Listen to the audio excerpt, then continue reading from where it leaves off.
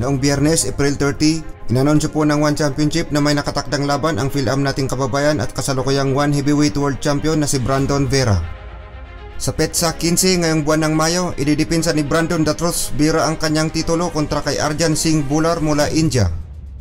Atin pong kilalanin si Arjan Bular na makakalaban ni Brandon Vera. Ang angkan ni Arjan Bular ay mula India pero ipinanganak siya sa Canada. Siya ay may taglay na professional mixed martial arts record na 10 wins at 1 loss. Sa kanyang 10 na panalo, 7 dito ay via decision at 3 dito via knockout. Yung nag-iisang talo niya ay via submission.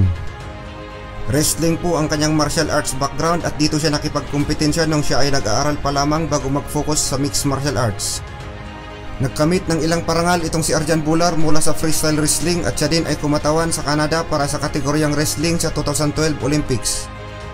Bago ito sumali sa UFC, may taglay si Bular na 5-0 professional MMA record at siya din ay naging heavyweight champion sa Battlefield League, isang mixed martial arts promotion na nakabase sa Vancouver, British Columbia, Canada.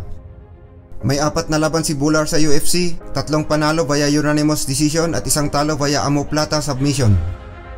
May 4, 2019 ang huling laban ni Arjan Bular sa UFC kasi doon na natapos ang kanyang kontrata sa organisasyon. Pagkatapos bitawan ng UFC, si Arjan Bular ay pumirma sa One Championship noong July 3, 2019. Ang pinakahuling laban ni Arjan Bular ay noong October 13, 2019 kontra kay Mauro Cirilli na dating title contender. Atin pong panoorin ang highlights ng labang ito.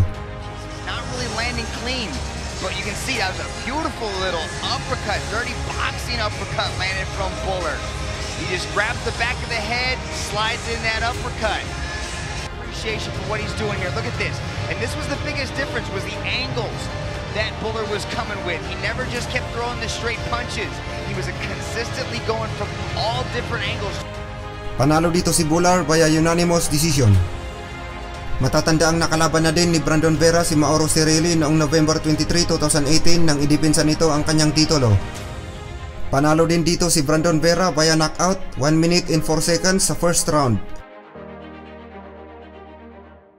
Noong May 29, 2020, nakatakda na sanang magharap si Brandon Vera at Arjan Bular pero nakansila ito dahil sa coronavirus. Sa PETSA 15 ngayong kasalukuyang buwan, sabay-sabay po nating suportahan ang ating kababayan na si Brandon Vera sa pagdipinsa niya sa kanyang One Heavyweight World Title na gaganapin sa Singapore Indoor Stadium. Dito na po nagtatapos ang videong ito. Kung bago ka pa lang po sa aking channel, huwag kalimutang mag-subscribe at i-click ang notification bell para updated ka po lagi sa mga susunod kong upload. Maraming salamat po sa panonood. God bless.